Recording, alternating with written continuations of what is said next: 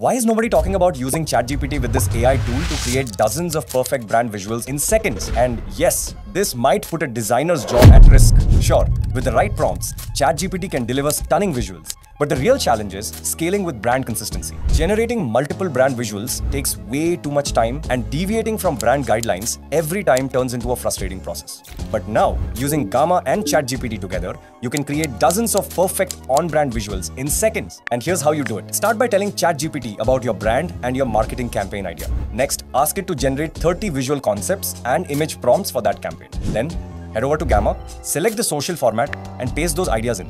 Now, go to custom style inside Gamma, paste the brand style you created with ChatGPT, and hit submit. Within a few seconds, Gamma instantly builds your full brand visual identity without ever spending hours going back and forth with ChatGPT. And the best part, all your designs save automatically creating a ready-to-use asset library for socials, websites, or brand campaigns. This is how you leverage ChatGPT's image generation to produce brand visuals at scale. If you want a free way to do this, let me know in the comments and make sure you check out upcoming video on it.